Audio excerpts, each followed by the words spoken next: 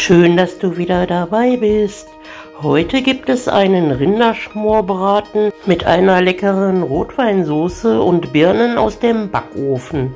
Anstelle von Öl lasse ich etwas fetten Speck aus und brate den Rinderschmorbraten darin an. Das schmeckt wesentlich aromatischer. Dazu schneide ich ungefähr 100 Gramm fetten Speck in Würfel und gebe die Schwarte auch mit dazu. Jetzt bereite ich die Zutaten für die Soße zu. Dazu schneide ich zwei bis drei Möhren und eine Petersilienwurzel in grobe Würfel. Eine mittelgroße Zwiebel schneide ich in feinere Würfel und hacke zwei Knoblauchzehen. Wenn du keine neuen Rezepte verpassen möchtest, abonniere doch den Kanal und aktiviere die Glocke. Ich habe hier ein Stück Rinderbraten aus der Schulter, das wiegt etwas mehr als ein Kilogramm. Der Rinderbraten wird jetzt erst einmal rundherum mit Pfeffer und Salz gewürzt. Ich nehme hier bunten Pfeffer. Jetzt wird der Rinderbraten rundherum großzügig mit Senf eingestrichen.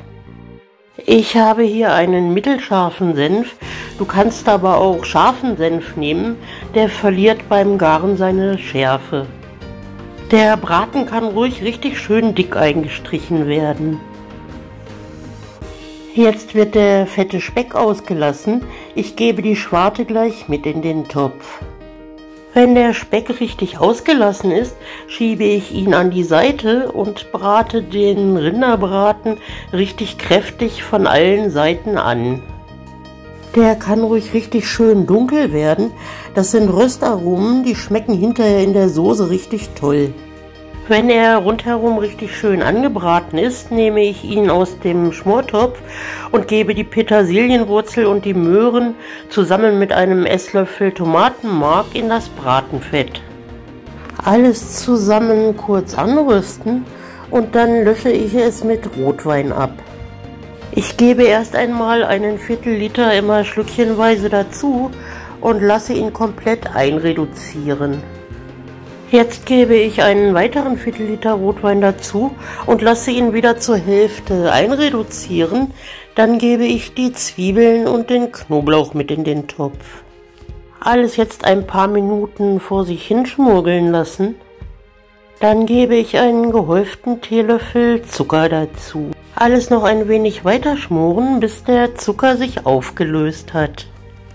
Jetzt ist es Zeit, den Ofen auf 160 Grad Ober-Unterhitze vorzuheizen. Ich habe noch 100 von 600 Milliliter Rotwein über, die ich dazugebe und lege einen Zweig Rosmarin da rein. Vier Körner Piment, einen Teelöffel Balsamico-Essig, einen Teelöffel Thymian.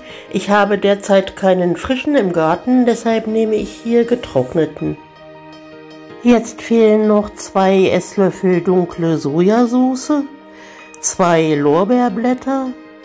Und wenn du einen Braten zu Weihnachten machst, könntest du hier jetzt noch zum Beispiel Sternanis, Lebkuchengewürz, etwas Zimt zugeben. Das gibt der Soße dann noch eine tolle Note. Ich habe einen halben Liter Rinderbrühe aufgekocht und gieße diese nun an.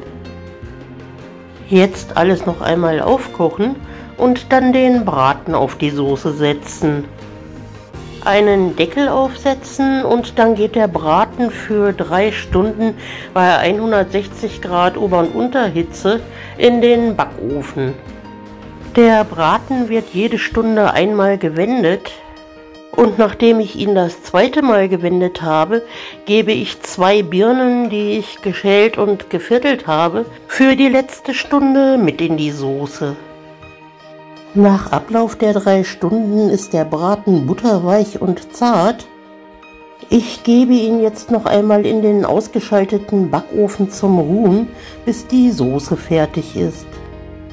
Die Birnen nehme ich heraus und stelle sie für später an die Seite und die restliche Soße gieße ich durch ein Sieb in einen Topf.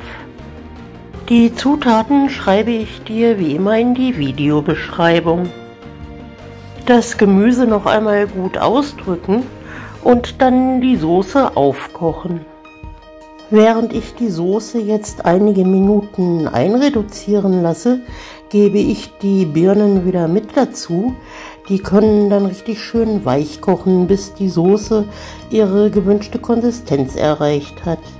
Die Birnen geben auch noch etwas mehr Geschmack an die Soße, als sie ohnehin schon hat. Jetzt wird die Soße noch abgeschmeckt. Ich gebe noch drei Teelöffel Mirabellenmarmelade dazu und würze mit etwas Pfeffer und Salz nach. Wenn du nicht so lange warten möchtest, bis die Soße einreduziert ist, kannst du sie auch mit etwas Stärke abbinden. Wir hatten Salzkartoffeln dazu. Guten Appetit!